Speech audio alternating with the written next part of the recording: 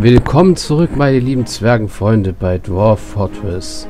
Ja, ich würde ja am liebsten sagen, wir haben noch sehr viel zu tun, aber im Augenblick sind wir gerade eher in so einer Art ähm, Ruhephase angekommen, also indem wir warten müssen, bis bestimmte Sachen getan sind. Zum Beispiel hier oben die Mauer fertig gebaut wurde und wir hier unten die Sachen fertig ausgehöhlt haben. Aber wir können ja schon mal ein Stockwerk tiefer hier die äh, den nächsten Raum ausheben. Der müsste dann für Glas und für Gems sein. Genau. Also Designation. Erstmal Up and Downstairs mit I.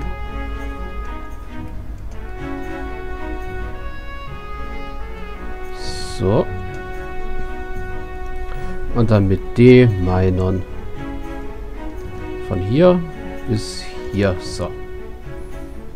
Dann haben unsere Miner noch viel, viel zu tun. Sobald sie das Ding leer haben und sich einen Weg nach oben gebuddelt haben, dass wir dort weitere solche Dinger machen können.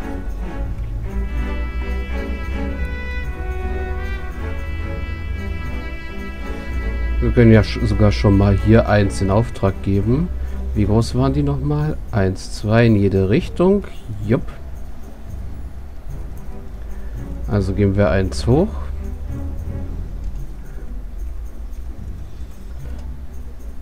Äh, noch eins. So. Ups.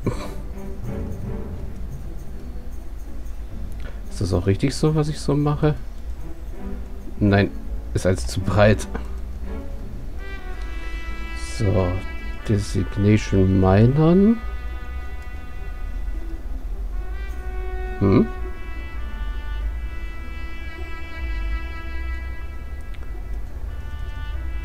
So. So müsste richtig sein. Und hier die Designation removen. Habe ich das hier unten eigentlich richtig gemacht? Ein Sprung, zwei Sprünge. Nein, eins zu breit, aber egal. So, und jetzt Remove Designation. Hier. Hier. Hier. Hier. Äh, ich sagte hier. Man sollte nicht auf der Shift-Taste bleiben, wenn man die Enter-Taste drückt, sonst macht das nämlich nichts. So. Und schon haben wir den, zwei, den dritten großen Raum hier oben. Deklariert jedenfalls. So, gucken wir mal nach F3. Bist du immer noch schon wieder suspended? Ja, weil wir Chaos hatten.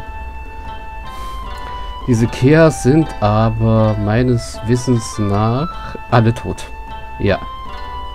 Hier liegt überall Kea-Blut rum. Und die Chaos sind hier auf dem Leichenhaufen. Da bin ich mal gespannt, ob diese, diese Kea-Leichen hier jetzt einfach so anfangen, Miasma zu produzieren. Ich hoffe mal nicht. So. Und unser ganzes Vor ist steinfrei. Weil ich alle Steine habe in die in, zum Steinstockpile schleppen lassen habe. Genau. Tolles Deutsch. Gut, gucken wir mal, was wir sonst noch so machen können. Also erstmal will ich die Mauer gerne fertig haben. Ja, sehr schön. Äh, Wall. W. Ein Granitwall. So. Das dürfte irgendein Mason übernehmen. Und wir haben Türkis gefunden. Ui. Haben wir hier unten Türkis gefunden? Ja, sie graben sich erst nach unten. Und was ist das hier? Wolf Hen. Ja, klingt interessant. Was immer das auch ist. Auf jeden Fall werden wir ein Stockwerk weiter unten dann unsere Minen anfangen. Wie die dann gehen, das zeige ich euch dann, wenn es soweit ist. Jetzt brauchen wir aber erst einmal ganzes Stück weiter oben Nämlich hier so in den Gebieten. Will ich erstmal gucken, ist hier alles Gabro?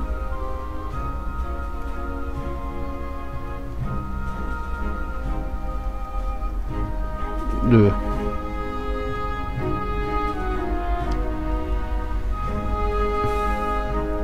Und hier ist wahrscheinlich auch nicht alles Gabro. Was bist du? Du bist Lebenwand? Ne, du bist Gabro, alles. Hier sind die Treppen, hier ist es egal. Hier sind immer noch meine Zwerge, was peinlich ist. Hier, hier ist es auf jeden Fall Silt, also Clay. Und hier auch. Also fangen wir erst einmal, weil es am wichtigsten ist, mit dem Weg hinein in die Festung an. Nämlich Floors zu bauen. Ah, ruhig erstmal so hier. Und können wir ruhig aus Gabro-Blocks machen. Obwohl halt Escape. Das hier ist die Einfahrtsstraße. Also machen wir hier keine Dings, kein Floor, sondern wir machen eine Road daraus. Die haben wir doch auch hier irgendwo. Paved Road, genau. Das ist zwar ein bisschen Cheaten in dem Sinne, weil eine Road nicht so viel Stein braucht wie ein Floor, wie man sehen kann. Aber in dem Sinne ist es ja eine Road. Also das hier, was hineinführt. Also machen wir da auch eine Road daraus. Ah, und nochmal Paved Road. Drei breit. Hier hin. Oh, wo habe ich jetzt drauf gedrückt? Egal, es müsste geklappt haben. So, hier noch eine Paved Road. Das zählt nämlich auch noch zum Eingangsbereich. Und noch eine Paved Road hier unten. So. Hier brauchen wir auch eine Paved Road. So, nämlich hier. Und hier auch.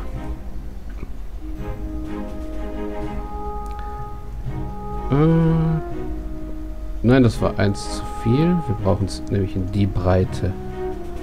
Auch in Gabro Blocks. Und wir machen das hier auch zur Paved Road. So. Gabro Blocks.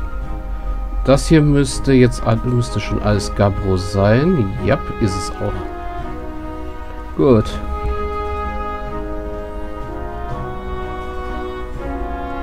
Das heißt, hier ist das schon mal alles geklärt.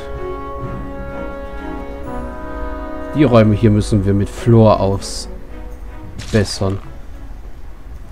Erstmal kurz gucken, wie weit die Mauer ist. Hoffentlich kommt ein Zwerg und kümmert sich darum.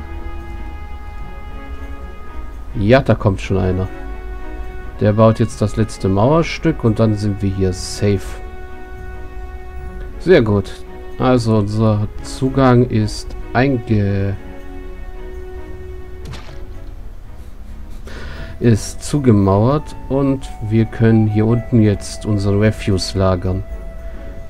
Zu dem Zweck hier gehe ich mal kurz zu den Quick äh, Hotkeys, Groß H, und sag Hotkey 3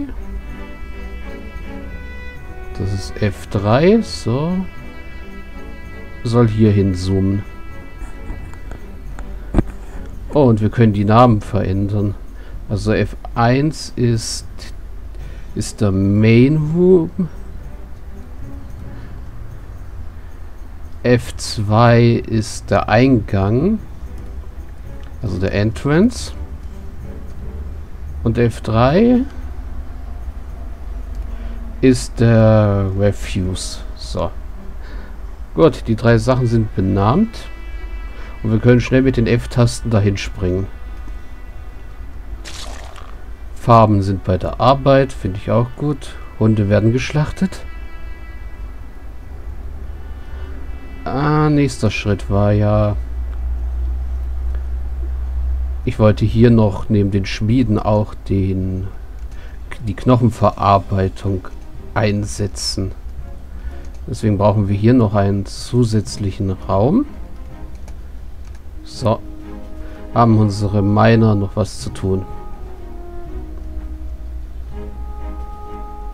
Und zwar kommen auf die eine Seite Knochen und auf die andere Seite kommt dann Clay und so Zeug. Ach ja, und wir hatten ja einen besessenen Zwerg, der nach Knochen geschrien hat. Und da er jetzt seine Knochen bekommen hat, kann er endlich arbeiten. Sehr gut. So, unsere Slabs sind auch gesetzt, also unsere Gedenktafeln hier, damit die Zwerge, die verloren gegangen sind, beziehungsweise die ertrunken sind und die wir nicht bergen können. Also die beiden Jungs hier. Oh, genauso wie diesen Hundeknochenbolzen.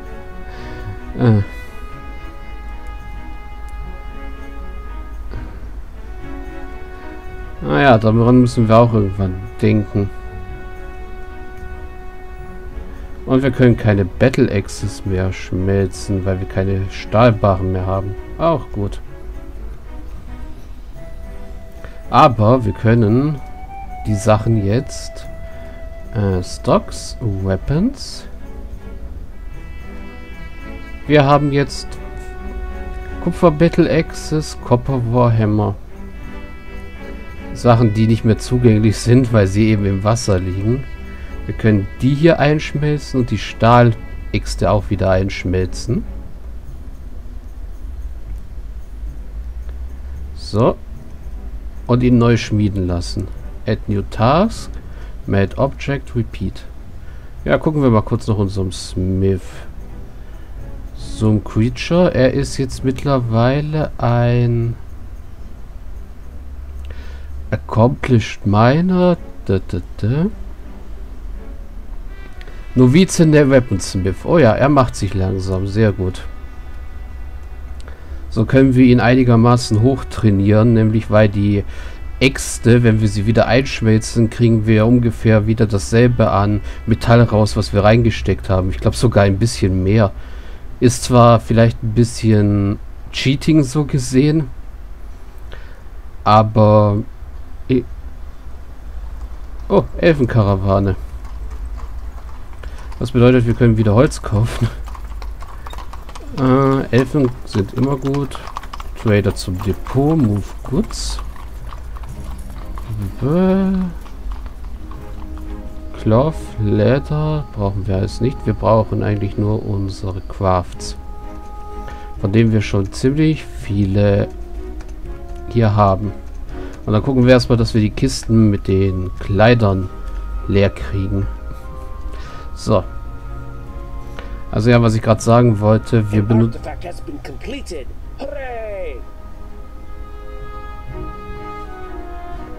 Dogbone Grate. Also eine, eine Kiste aus Hundeknochen wurde hergestellt. The Strange Enchantment, die seltsame Verzauberung. Es ist ein Hundeknochen, eine Hundeknochenkiste aus äh, von höchster Qualität. Es ist umrandet mit Granitkabuchons und dekoriert mit Hundeknochen. Es ist verziert mit hängenden Ringen aus Granit und Menaces mit äh, Stacheln aus Hundeknochen. Also ja.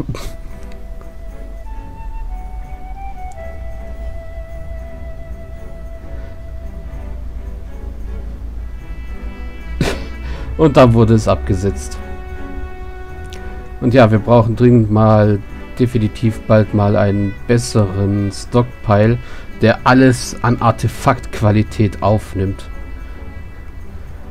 Und zwar sollten wir dafür am besten hier hinten irgendwo oder noch besser hier einfach direkt gegenüber eine Schatzkammer anlegen. Dort einen Stockpile reinsetzen, der nur Artefakte annimmt. Und zwar alle Artefakte.